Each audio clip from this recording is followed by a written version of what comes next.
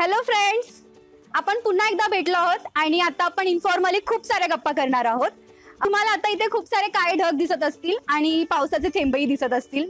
एकदम हलका हलका पाऊस पडत आहे. परंतु काही वेळापूर्वी मात्र हे काळे ढगही नव्हते आणि पाऊसही नव्हता. तेव्हा खूप कडक ऊन होतं आणि आम्हाला अक्षरशः घाम येत होता. त्यात लाइट गेली होती तर तुम्ही इमॅजिन करू शकता की किती गरम होत असेल. परंतु आता थंडगार वारा सुटला आहे आणि खूप छान पाऊस पडत आहे तर मला फार मजा येत आहे. पावसापासून वाचण्यासाठी युजली लोक छत्री घेतात. परंतु मी मात्र थोडंफार वेगळं केलेलं आहे. मला असं वेगळं काहीतरी करायची खूप आवड आहे.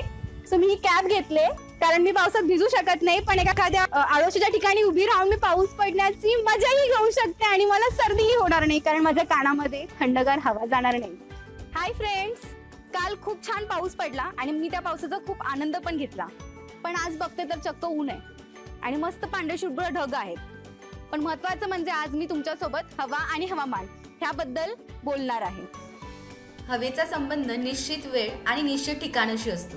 तर हवामानाचा संबंध मोठ्या प्रदेशाशी आणि मोठ्या कालावधीशी असतो.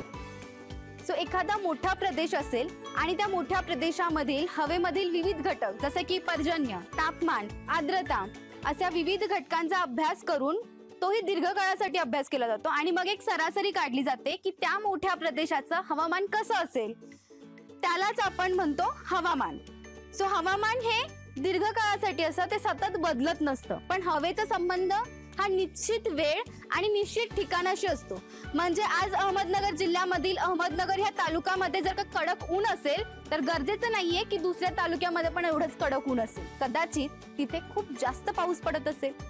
इयत्ता नवी मधील पाठ क्रमांक नऊ पर्यावरणीय व्यवस्थापन ह्याच्यामध्ये हवा आणि हवामान यातील फरक. तसंच मान्सून आणि हवामानाचा अंदाज कसा वर्तवण्यात येतो त्यासाठी भारतामध्ये आणि जगभरामध्ये कुठल्या विविध संस्था आहेत? नैसर्गिक आपत्ती येतात नवनिर्मित आपत्तीही असतात. मग ह्या आपत्तींचं व्यवस्थापन कसं करायचं? या पाठामध्ये आपण तेही शिकणार आहोत. व्यवस्थापनासोबतच प्रथमोपचार म्हणजेच एखाद्या जखमी व्यक्तीला प्राथमिक लेवलवरती जर का उपचार मिळाले तर त्याचे प्राण वाचू शकतात. आणि त्यासाठी माणूस म्हणून आपण काय केलं पाहिजे ह्याबद्दलचे कौशल्यही तिथे विकसित होतील. पर्यावरणीय व्यवस्थापनामध्ये पुढचा मुद्दा येतो घनकचरा व्यवस्थापनाचा.